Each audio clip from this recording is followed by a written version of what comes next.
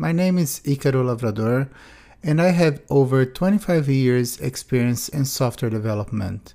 I work in many places like Brazil, New Zealand and the Netherlands. And now I'm here to help you to be the best developer you can be.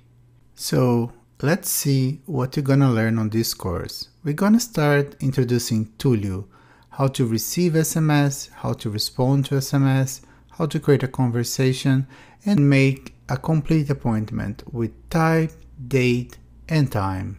We're also gonna learn a lot about Node with Express how to send and receive the SMS and orchestrate all the message and schedule on the backend. So let's see how the application is gonna work. First, the customer will send a message saying hi and our application will reply, Hi, would like to have an appointment to look the gym, see the personal trainer or have a massage? Customer reply, have a massage and we would ask what day do you want to see the masseur? The customer say Monday and we would reply with what time do you want to see the masseur on Monday? 10 a.m., 11 a.m., 1 p.m. or 2 p.m.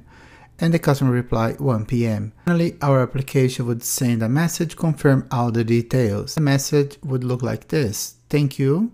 Your appointment to see the masseur is booked for Monday 1 p.m. See you then. So, if you want to learn about Twilio, Node, and how to send and receive SMSs, this is the course for you. Enroll now and remember, completely risk free. With Udemy's 30 days money back guarantee, it's really a no brainer.